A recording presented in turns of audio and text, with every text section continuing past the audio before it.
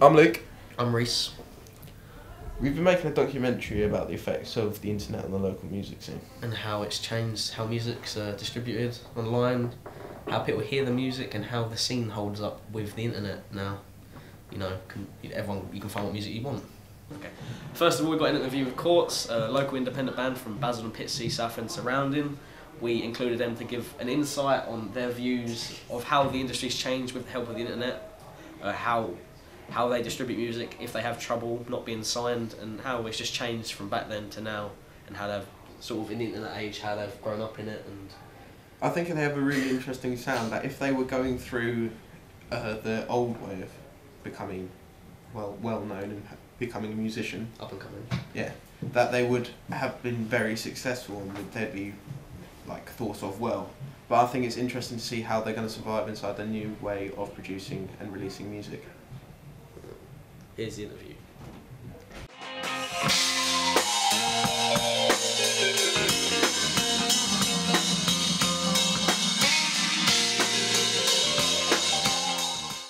We're Courts, we're a band from uh, Basildon and Essex. That's about it. Well, that's about it. That's all yeah. there is to us. Is it? He's from Canvey. Yeah. Well, did say that. Yeah. Inbred. How long have you guys been together? Uh, how long have we been together? Four years? No, not four years. Yeah, we did Sirens. It's been about four years, isn't it? Joe's just, oh no. Three About Three years. years. What inspired me? Mm. Just what I like doing. That's about it. Want to do it for a living, don't want to work. I can't. Yeah, I can't remember a time I didn't really want to do music. Always wanted to. That is it. Luke. Well, funny thing is, I was inspired by my brothers to play music in a band. Oh, band. that's nice. Me. Yeah, him. Me. Yeah. What about Reese? nice. Oh yeah, Reese as well. I did Reese. say brothers. Brothers. You said brothers, yeah. Yeah. Yeah, and that's why. Right.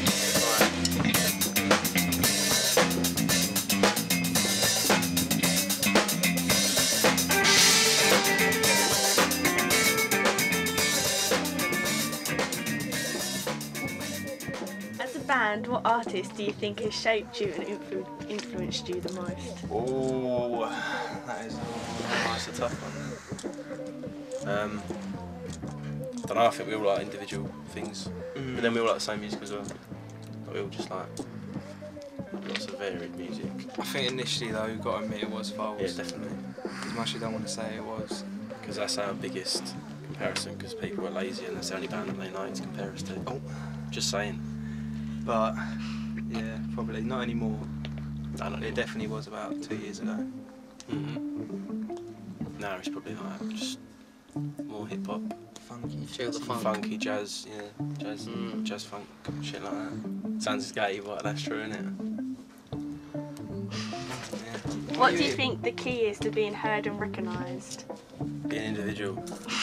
It's true, isn't it? That's, that's the best answer. Uh, Do you think Being that unique. is appealing to a wide audience or? finding your own sound, like you said, being individual. Then, yeah. What is it? What's, what's the question? It was basically, what is the key to being heard? Do you think it's having your own sound and being like, in, you know, individual, or fitting in with a crowd to, and appealing to a wide audience? Definitely. I think- depends what. Yeah, it depends. If you want to be a gimmicky band, like with a gimmick and just and you're gonna last five minutes, then yeah, that's good. But if you want to last, then you have got to be unique and you got to have your own thing going on.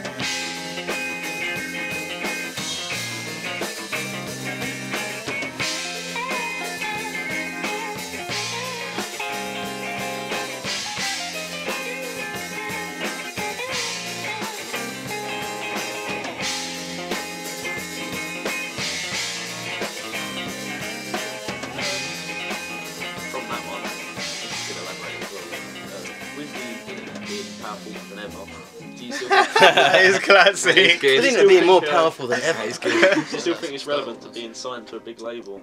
What's what is it? Do you think it's relevant to be signed to a big label, or do you think you can do it independently? Like You can do it independently, It but it's depends on tough the label. because of money. It's always down to money. I think. Like, Depends where you live as well. I think. Definitely. I know it is the internet, but still, it's still local, innit? scenes as well. Like, it helps if there's a scene in your area, but not really one in Basildon. Is there? There's nothing Or going Essex. on. Or Essex at all, Yes. really. Not for unless you're band- into not me- for bands, unless you're into anyway. metal or DJs, then. But for that sort of thing, there's nothing going on. Yeah. Don't know what else is there to say? That's it.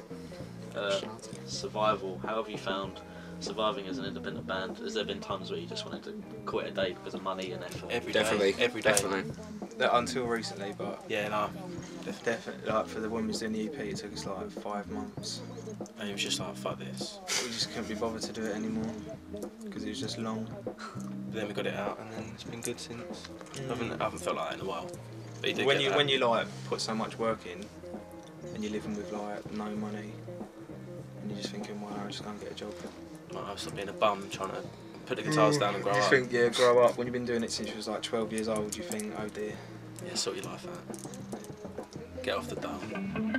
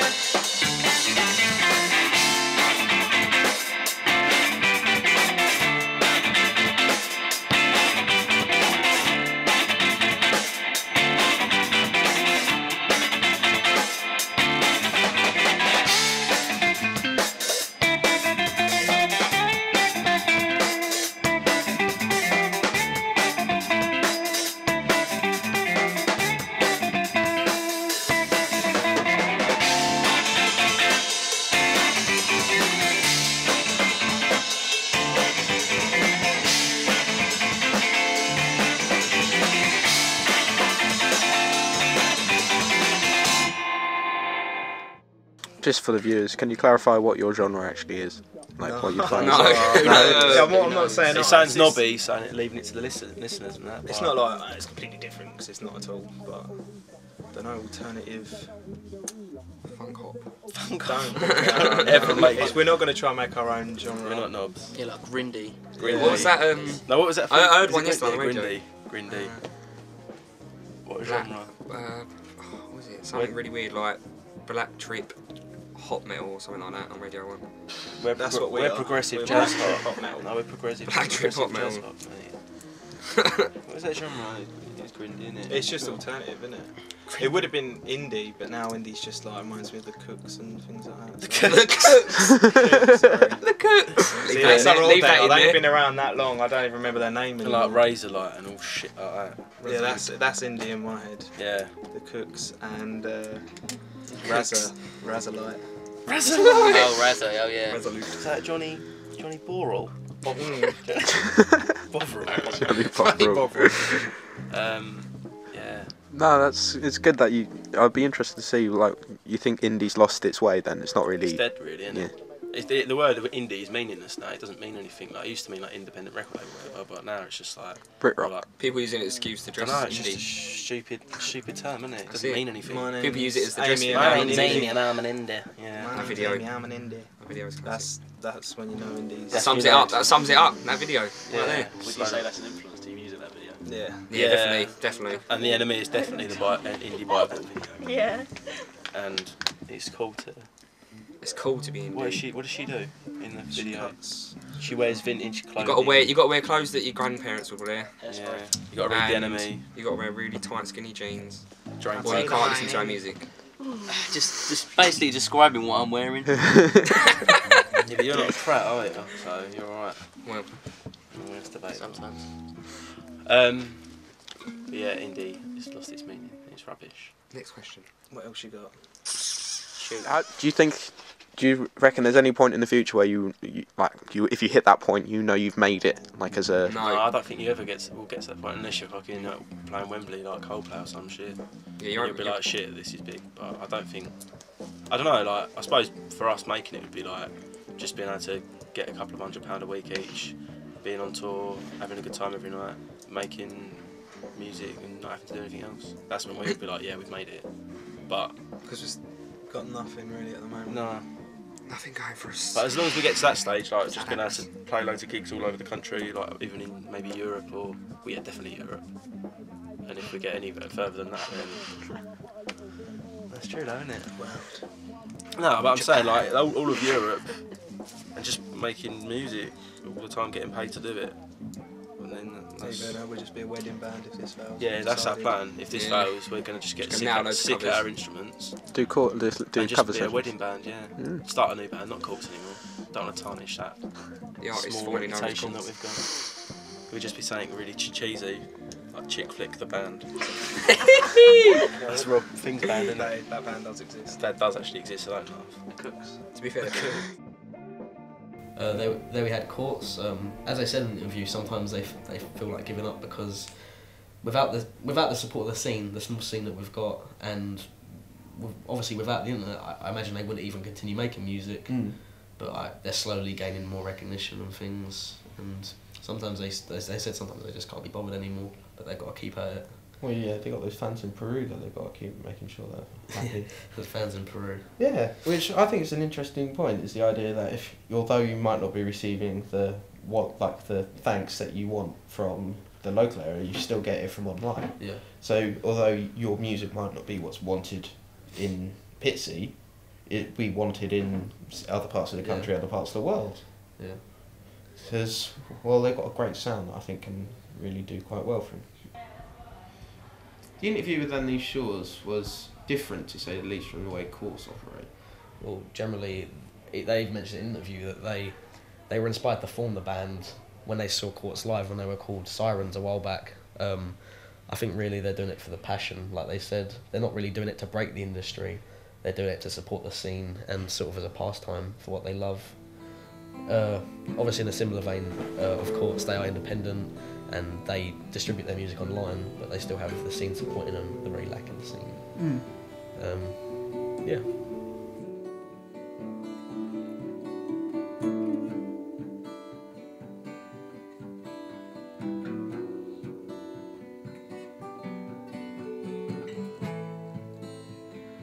What do we think of our surroundings? Wait, go again. I've got this now. What, what am I answering this or? What do we think of our surroundings and the music scene that's around us? I love Pitsea. Like, really love Pitsea. Yeah. It's like We hate it. we hate it, but we love it. Yeah. There's no place like it. It's like a little village full of shit, basically, in it. But it's a it's a good village. How would you survive in Pitsea without music? Well, we'd probably turn to like mum and dad and be like, we're gonna kill ourselves. help, help us out, mum and dad. Send me out this time, and I'll feel it go.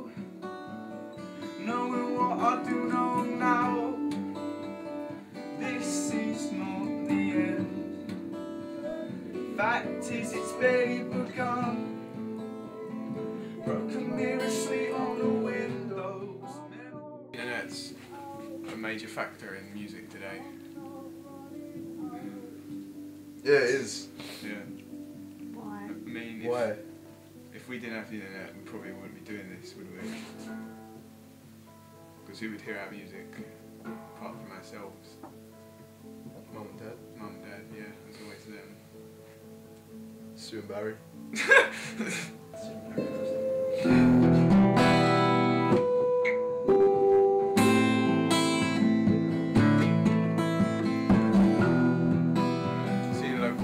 obviously inspired us uh, uh, in the Southend area.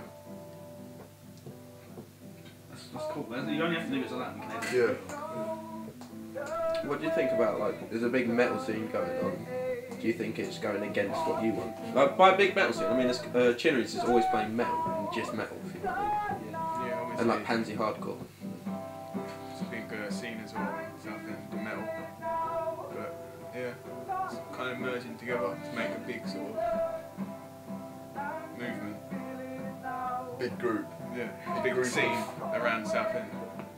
All you know is taking a side, and I see it now. And that was the last thing I saw. All these things. I remember my first trip to Chinnery's and uh, we went to see Sirens and I was quite taken by that. Like, it was quite cool. And then, uh, ever since then, it just kind of, uh, we kind of decided that we wanted to be in a band kind of thing. And then, uh, then we made a band.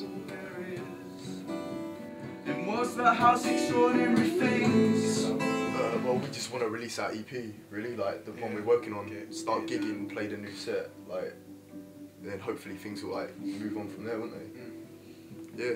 Yeah. Do you, um, courts of some fans in Peru. Do you have any sort of international? No. Does any, like is there some random kid from Argentina that digs your shit? We've got a little Filipino fan. Yeah. Yeah. How is she?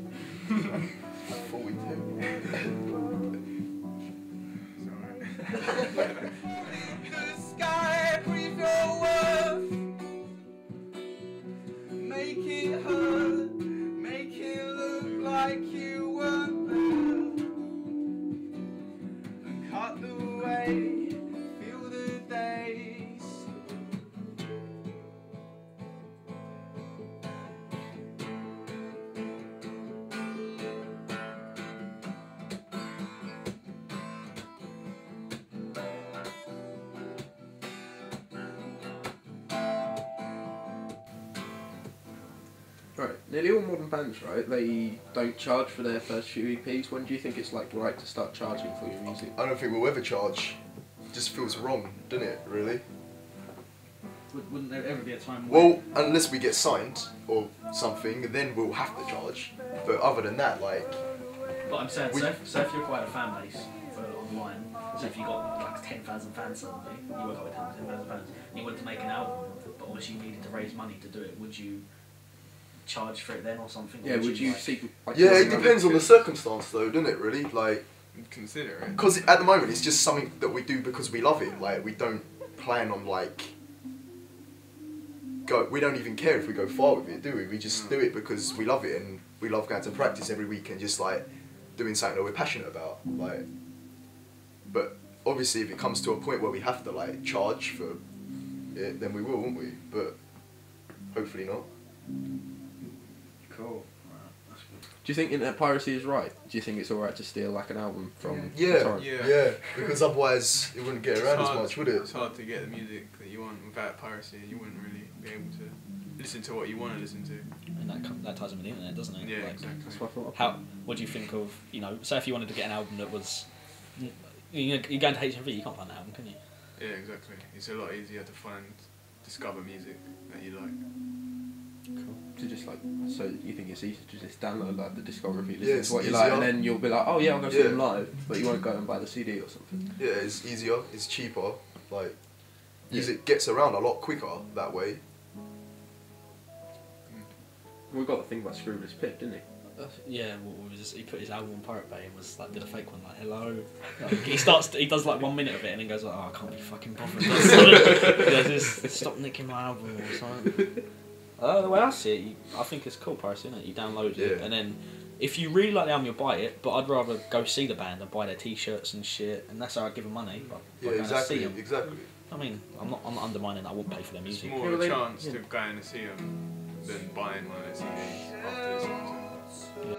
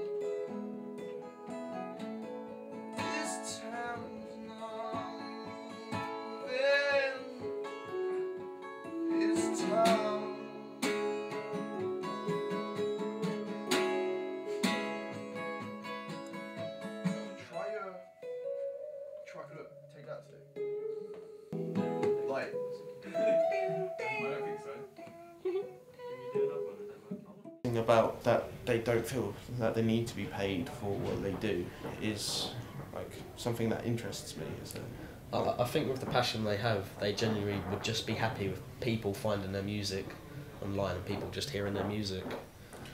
Um, obviously, like with Courts, they said they they enjoy the music. They obviously have the passion there, but it feels like all the hardship they're putting into their work, they would like some sort of payoff, even if it would be support. You know, people don't need to buy the music, just some more, you know, support Mm. as they're getting more recognition. But ideally, I think in I think the industry will sort of minimise a fair amount within the next 10, 15 years, and it will be almost irrelevant with the internet. You have artists like The Weeknd, um, come out last year, released three mixtapes completely free. I think he has about 300,000 Facebook fran- fans now. Mm. Went huge, hype trained, viral, you know. Just like that. Yeah. Generally, with online, people can search for what they want. Well, there's so many different people that you can like appeal to. Because say if you had, th- you'd have three people in your local area, you can go up to thirty thousand people if you just include the country. Obviously, with with the contrast of the internet and how you can be discovered now, we have a interview with Vic Collins, guitarist from the Curse of Flies, and your And that's yeah, your guitar teacher. And these from way back, they hit it big in 73, 74 with their one hit wonder. But they did have some other hits to go with it, and they are actually a great band that I thought had some real, you know, tunes to them. Generally, they got uh, they got recognised from touring, didn't they, and being supported by the scene, Doctor. Doctor Yeah, they Dr. they Feelgood. were friends with Dr. Feelgood, and uh, when Dr. Feelgood started to play big, so did they. Yeah. And so they would play in all the local gigs, and that's how they grew their reputation. So they are the the complete opposite of what we expect from internet bands nowadays. Like your Yeah. your gigs are great, but it's all about how you perceive yourself online. They developed it all from just going, yeah, they put on a really good show. Yeah. Well, in contrast to the two young bands we interviewed, here's um, Vic Collins' interview with some really good insights to how the, it's all changed over the years. It goes on about the 60s music being all great and really diverse and whatever, you know, and so many things happening. And half the reason for that was the um, pirate radio stations. Because before you had Radio 1 and that sort of thing, and everything became tight again, and sort of um, things became very controlled by the radio stations and the record companies, um, you had the pirate radio stations. You send them a recording of, oh, this is my band, you know, can you play it? And they play it. It was as simple as that. Oh, we play this one. This one's a new one. There, you know, stick it on, and people made up their own mind whether they liked it or not. Soon as that was why there was a big diverse thing with music Mm. in the sixties, when the when when those pirate radio stations were about.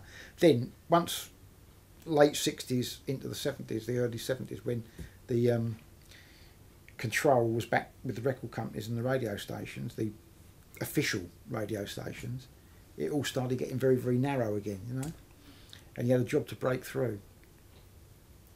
With the internet, that has opened it all up again because people people that that word spreads. You know, I mean, look at the um, what do you call them, um, Arctic monkeys.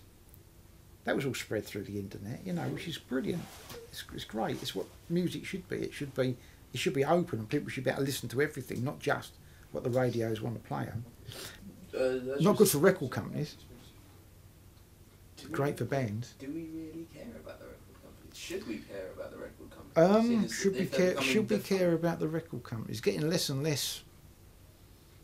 It's getting less and less that way, isn't it? Really, because I mean, home recording and everything's getting so good now that that you don't really need a record company. To, you need you need promotion.